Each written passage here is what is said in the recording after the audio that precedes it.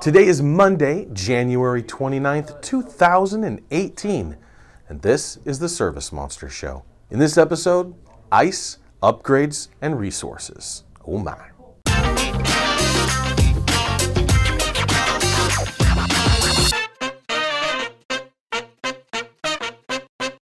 This week on social media. So, interesting thing came across my newsfeed last week. First year Image Expo, which was essentially for insurance people and storm chasers, so restoration pros. Had an incredible speaker lineup, so they really didn't hold any expenses. Gary Vaynerchuk was their top biller, and I saw a handful of people in my feed doing live streams of him talking to our restoration brethren. So, congratulations to everybody who put that show together. First year out, I suspect it's going to grow fast over the next two or three years, especially if they can keep that kind of caliber coming. This week, you've got Nexus and ICE happening in Las Vegas. We'll be at ICE. Come by our booth both Thursday and Friday, and I will be speaking at 10 o'clock on Thursday about leadership. I'm pretty excited. I'm pretty sure it's the most from my point of view, it's it's the best creative work that I've done. So if you want to just come get entertained, I think I've really built that in. So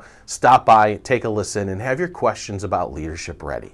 Look, changes in the Facebook news feed have made groups and personal pages very, very important. It's amazing now the interaction that I'm having on a regular basis. So, Facebook Live is up there. If you were playing with it, now's the time to dive in. Groups, interacting with your local groups. If you were playing with it, now's the time to dive in. There's a huge vacuum before other people really start to figure this out. If you can get in early now, it's to make kind of that foundation. People will know you're the go to, and then everybody else will just be copycats.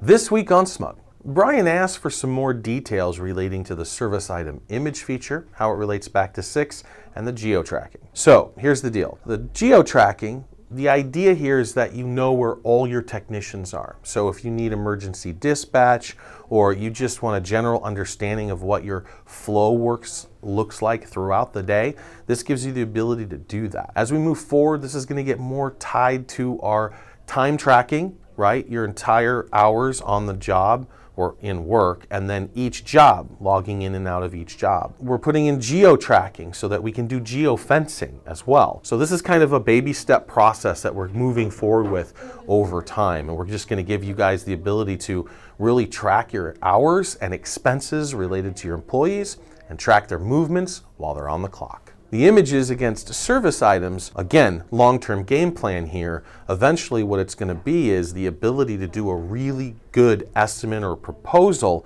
documenting everything that you could be servicing within their home. And as just keeping measurements of the rooms or the type of carpet, or maybe that piece of upholstery, now you've got images to go with it. So it reminds you of what you need to do and also documents the journey along visually, which is very cool. Kevin Bunce asks about the Twilio integration and how that can actually help his business. So we added some time ago the ability to do job notifications. We call it our job notification pipeline.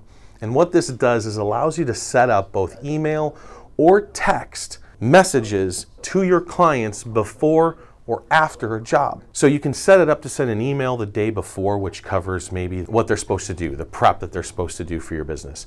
And then one day before, maybe an hour before, the actual job is scheduled to occur. And then perhaps a text afterwards encouraging them to leave a review and an email the next day saying, hey, can we do a survey or here's some specials for your next time or here's an introduction to our referral rewards program. Okay, so that's cool. Very cool. But the texting portion, when you use the default SMS service, so this is the pipeline that text messages fly around the earth with. When you use the default one, it works like this. ServiceMonster sends a text to the client. It's not a replyable location. So if the user texts back, it doesn't go anywhere. So not ideal, but based off SMS rules and guidelines, that's what we get on a shared pipeline. So we've introduced a Twilio integration. This gives you guys the ability to purchase a number from Twilio for about a buck a month. And then you can plug in credentials, just like you would for email, SMTP email, using your own pipeline. You can take your Twilio account and plug it into ServiceMonster. And what that allows you to do is not only have a record of the stuff that's flying across via your text messaging, but also when a client replies to it, it'll come back to your phone and then you can engage them one on one. It's a much more personal experience, and you really need your own texting pipeline to make that work. So we've chosen Twilio to start with, although more will be coming as we see fit. So Angela brings up a little nuance in the difference of how service items calculate in 5 and 6. So what we do is we take the expression that you type in. If you're unfamiliar, you can give it a room dimension, right? 10 by 14. It will automatically calculate 140 square feet for you. Now, if you plug that service item into a line item, it will automatically plug the quantity in of 140 square feet. And this is great for people who track rooms by the square foot. The calculation, though, in 5 was a little more clever. It would take the x and translate it for the calculation engine into times. We don't currently do that now, so watch for that. It has to be an asterisk in order for the calculation to move forward. I suspect that we've got a tracker on that that will be fixing it, but that's something I just wanted you to know.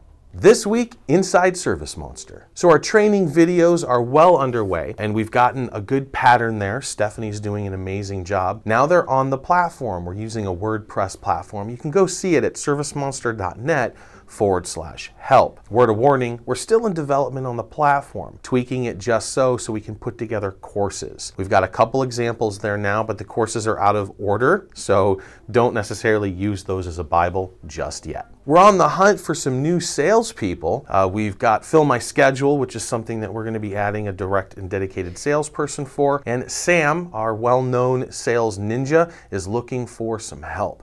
So if you got anybody in your local, kick them our way.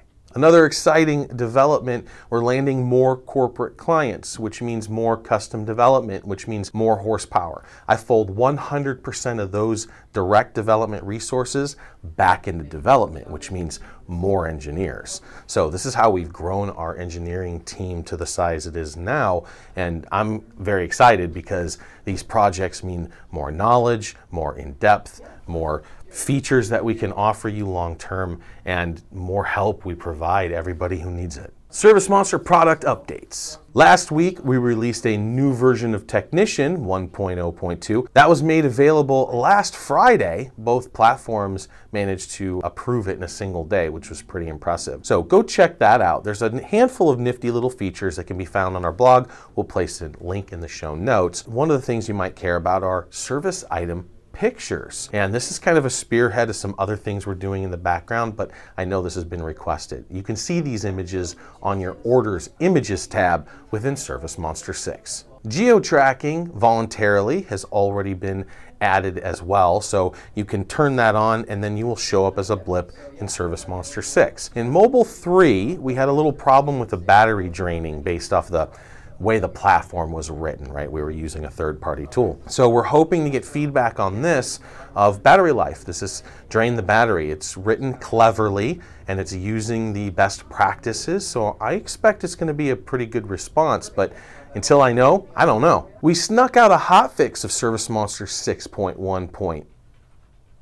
7, it addressed upgrade for service items. So go take a look at that. It's pretty impressive. I know you got most of what you wanted. There's a couple little things in there that you might want to play with. I know Damien Luciero, who's probably one of the most experienced and versed service item users on our platform. He loved it, but also had a couple suggestions for us to go take a look at. So we'll be doing that, but let us know. Throw some feedback down. Always happy to hear you on Smug. From everyone here at ServiceMonster, thank you so much for your attention. Go subscribe to our YouTube channel, go check out the demo, and give us a call.